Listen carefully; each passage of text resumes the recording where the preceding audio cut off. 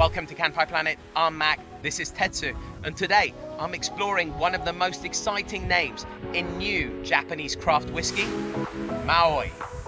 Maoi is both a winery and distillery, perched high on 13 hectares with panoramic views to the west over Hokkaido's Ishikari Plains.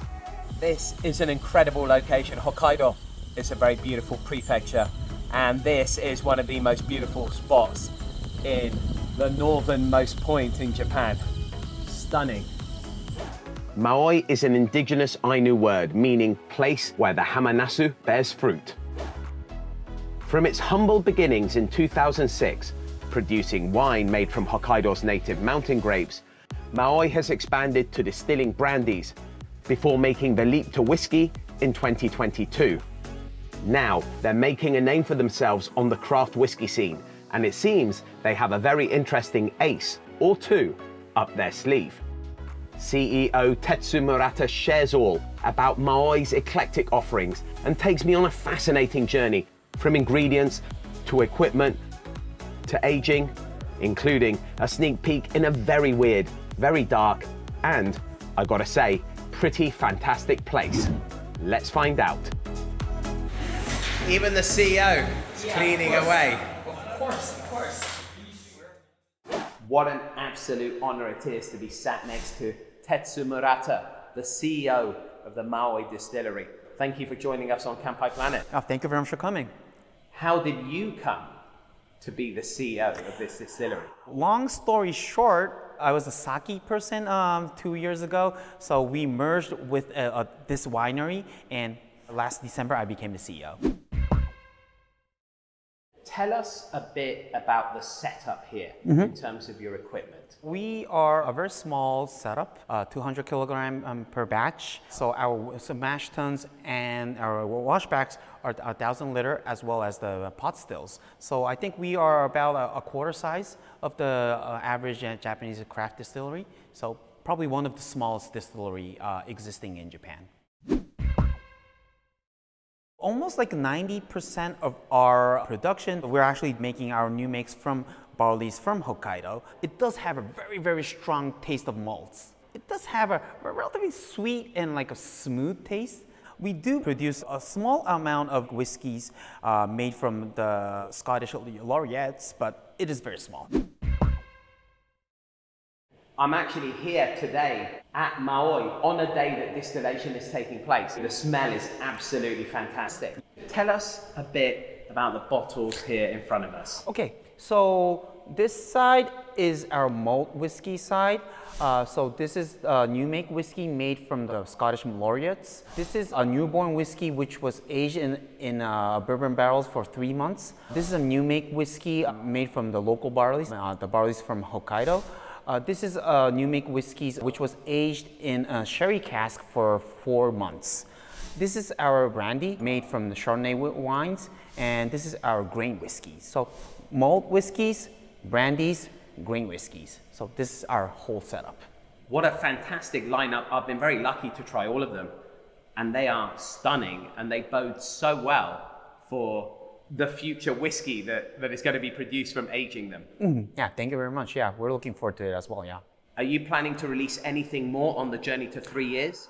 So we are um, planning to release our local barley peated new make whiskeys. After that, we probably will not be selling any newborns or new new make whiskeys. I think our whiskeys will, we will need to wait a little bit more than three years, uh, given the strongness of our new make whiskeys as well as the environment. So, not three years. That is a very good point, actually. We've got used to distilleries down in Kagoshima mm-hmm, mm-hmm. or in Shizuoka yeah. releasing things, mm-hmm. possibly with a date of three years yeah. one day, mm-hmm.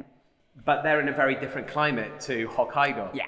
Kyushu, it's very warm, very humid. It does have a very dry winter as well. Here in Hokkaido, we are very cold. Uh, we have a very humid winter. The aging environment is very, very different. So our whiskeys, we definitely will need to wait for at least four or five years. Yeah. What are the most interesting cask types that you've got sitting in your cellar? Anything wild Obviously, you're mm-hmm. going to have some X wine. Mm, yeah, so we will definitely have our X wine um, casks. So we actually make apple brandies as well as a wine brandy. So those will become brandy casks or uh, Calvados casks. We'll also have our ram casks. And we also have own a beer company. And that beer company produces IPA, so we can also have our IPA cask as well. So whole variety of casks. Any ex-gin casks there as well? Juniper? Ooh, I don't know. That will be an experiment. I wouldn't like. I wouldn't say no, but I don't know. run it, run it. Yeah. Get more experiments to run. Yeah, that's and true. We'll see how it comes out. I'm yeah. happy to uh, let you know. Okay, if sure. it works out. Okay. okay. Yeah. Anything interesting from other parts of Japan? Ex sake, ex awamori, anything? Uh... Yeah, so we also own a sake company. So at some point, we might be um, using sake casks don't know. We've seen that from some distilleries in Japan. Yes, I mean, yeah. Akashi, mm -hmm, uh, Kashima, White Oak, mm -hmm. uh, those guys have been producing a number of uh, mm -hmm. ex-sake casks. Yeah. I'm, I'm, not really a big fan of sake cask at this moment. There are other areas of focus that we need to work on as well. So if you have any like suggestions, we'll use any cask by your suggestions. So Fantastic. Yeah. You know I absolutely love Nihonshu. Mm-hmm. So I'm looking forward to you bringing some of your Nihonshu expertise. Okay, sure. For the whiskey making. Yes, yes, yes. So we are, we probably are going to be using some of the yeast using um, the sake yeast. Fantastic. Mm -hmm. I actually truly believe that kind of yeast is a uh, distiller mm-hmm. secret weapon, mm-hmm, mm-hmm. and I'd love to see more innovation mm-hmm, mm-hmm. in yeast exactly, uh, in mm-hmm. Japanese whiskeys. So we probably will be start using sake yeast number 901 um, fairly soon. After using 901, probably 1401, 701, go on, go on, so on, so, so on, so on, so on, yeah. 01, non-foaming yeast. You you got it. Wow, it's the sake expert. Yeah, well, Kanpai.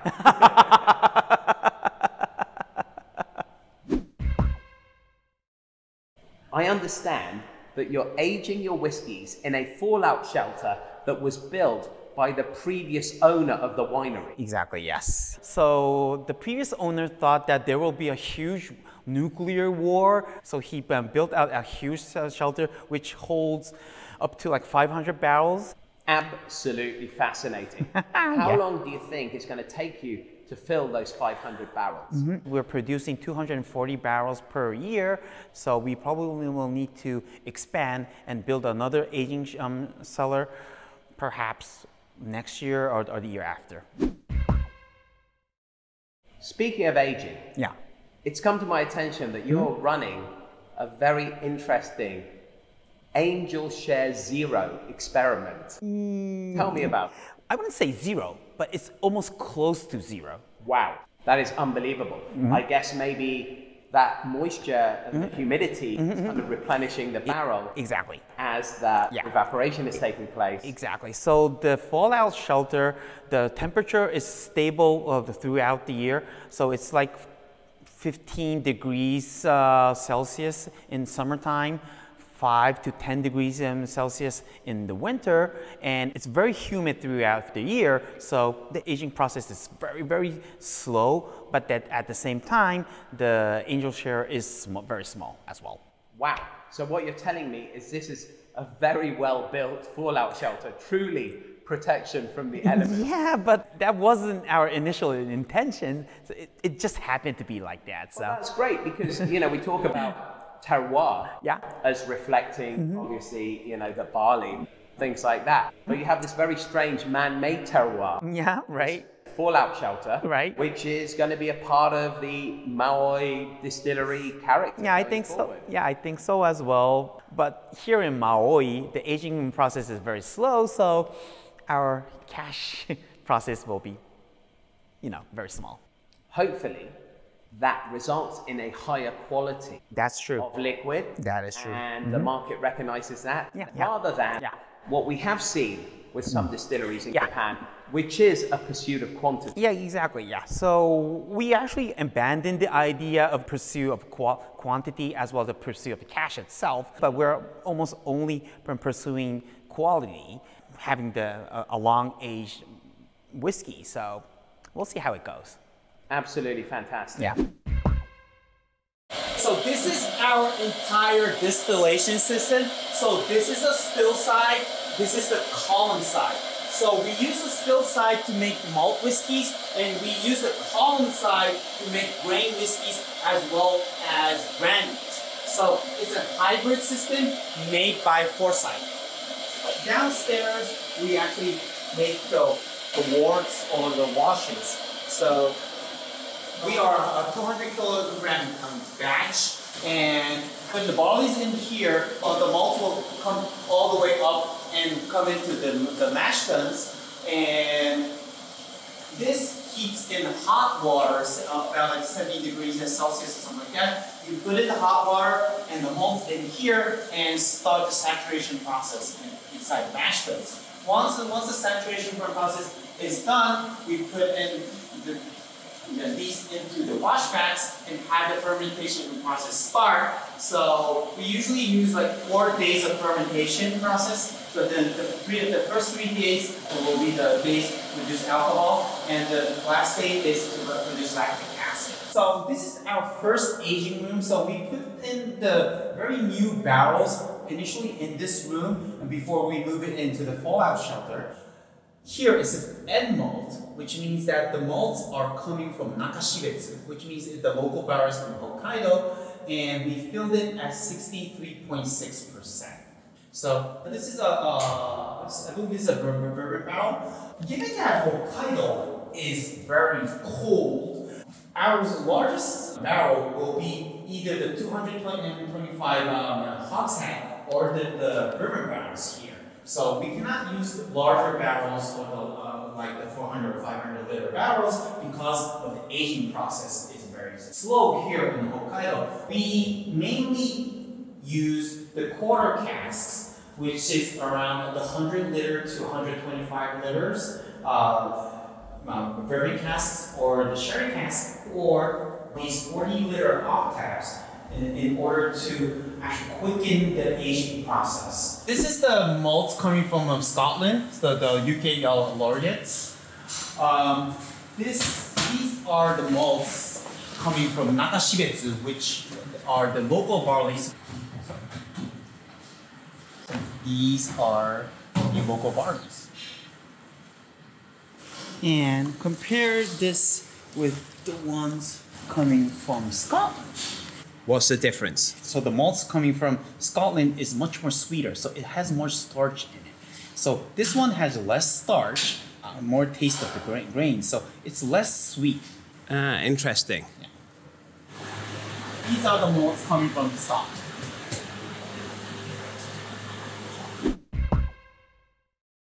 So this size of wine size, so the wine fermentation tanks, is about like a, a 2,000 liter size. Um, so we squeeze the grape juice here, put it into the tanks, and have it fermented for about a month or so. And these are the barrels which we use to age wines. So these are French oak barrels. We probably will use these like three or four times, and then once it's retired, we will use it to age whiskeys in these barrels. So welcome to our fallout shelter. So this, this is the first door.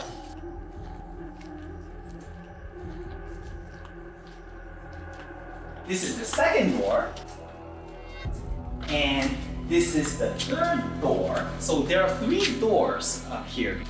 Coming in here, you cannot see anything, so you need some lights here. So these are the unused barrels, unused bourbons. And yeah, here we go. Ooh. So these are the, the barrels filled. So how many barrels have you filled so far? Around uh, 60 barrels now? Yeah, 60-ish barrels. So these barrels, without the numbers, contains brandies. So other barrels which has numbers on it, they contain whiskeys. So Oh, so these are new barrels. The barrel was filled in August 12, 2023, uh, which contains uh, new makes made out of Nakashibetsu malts and was filled at 63.4% ABV. Tetsu, it's a real experience to be in this amazing fallout shelter come aging warehouse. Yeah. So not so I don't think a lot of people want really wants to come here come in here. So just to be 100% honest with you, you are the very first cask owner to come into this uh, fallout shelter. The very first one. Oh my goodness, what an honor. it's absolutely fantastic experience. Thank you so much. Oh, thank you very much for coming. awesome. I don't know what to say. A little glimpse of the world, hopefully not ravaged by nuclear war when we emerge.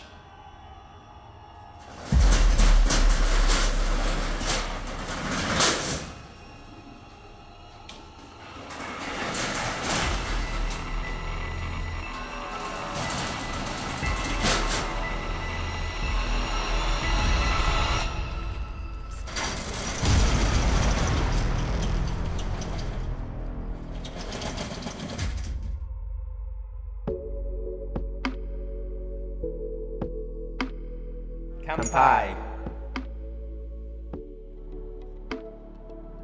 Hmm. That is good. It is real good, yeah. That is damn good stuff. This place has a very beautiful scenery. Our like a visitor center is very nice and new. So I would love everyone to come over to Maoi.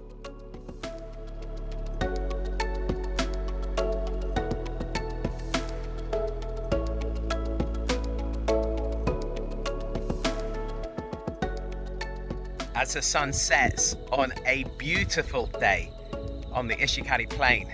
There are exciting times ahead for Maoi and Japanese craft whiskey. Until next time, kanpai.